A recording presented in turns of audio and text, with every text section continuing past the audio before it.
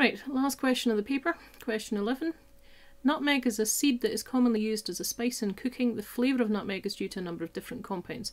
The oil in nutmeg, trimethystin, not sure entirely, can be easily extracted and purified.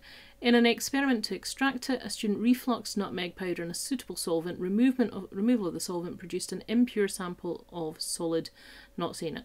Okay, suggest why an ether could be a suitable solvent to extract the oil from the nutmeg. Okay, so if it's an oil, an oil will dissolve in something which is oily, and by oily we mean non-polar, and that's really where you've got to go. Okay, so so oh, that's very thick. Uh, so non-polar uh, therefore similar properties, solubilities. On top of that, ether is just a really good one because it's very stable, it doesn't react with other things. Any of that would be decent as well. Suggest why the mixture was heated under reflux. So reflux is where you have your kind of heating mantle, whatever you're heating, and then what's really important is above it you have some form of condenser, and that condenser means that anything that's inside this particular reaction vessel remains in this base of the reaction vessel. So it stops evaporation because it just, every time it goes up, cools it back down, it falls back in. So it's basically that.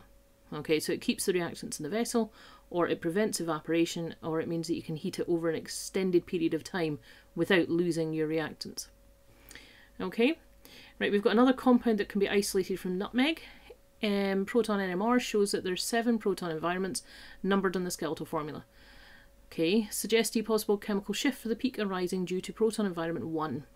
So proton environment 1 is on a double bond. You'll notice here that I've gone and pulled out the little bit from the page.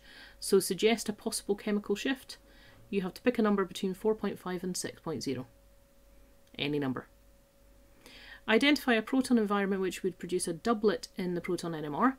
So to get a doublet, so you would have your peak and then you have um, ones next to it that are being created by sorry I made that into a triplet. Forget that bit. Sorry. Um, you created by the things that are next to it. So to create a doublet I need a single hydrogen next to the one I'm looking at. So I'm looking for a CH okay so in this compound set there's a CH so in terms of the ones that would produce the doublet it would be either one or three because they're next to the two. That's it. Okay, two steps to convert this compound X.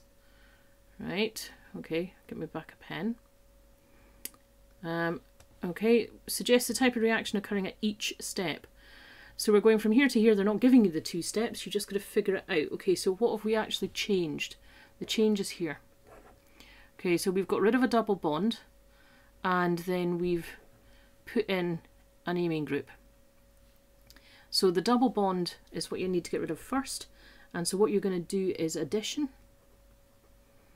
And what you'll do is um, add in, well, basically you could either go to an alcohol or go to a monohaloalkane, which you can then substitute for your amine group. So addition is going to be to the double bond. The double bond is electron rich. So you could say electrophilic.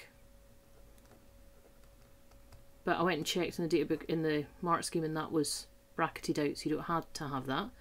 And then we've got um, the adding in here, but it's not adding, sorry, use the right term. We've got substitution here. Um, and this time that would be nucleophilic because it's to the, the dipole, but substitution would be fine. Um, and that's us.